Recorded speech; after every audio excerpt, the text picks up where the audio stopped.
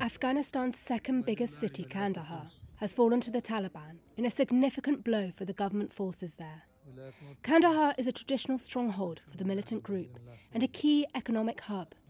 A spokesman for the Taliban said on Friday they had captured three other cities, including the capital of Helmand province.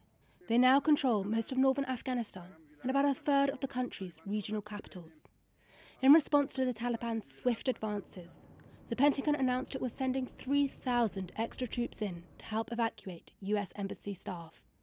Britain is also deploying troops to help bring its nationals home, as the UK Defence Minister warns the country is spiralling towards a failed state that could become a breeding ground for Al Qaeda.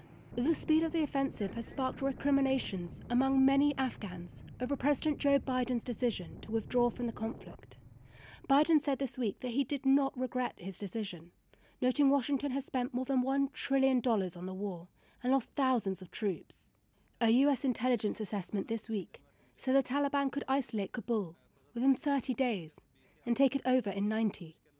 The United Nations has warned that if their offensive does reach the capital, it would have a catastrophic impact on civilians.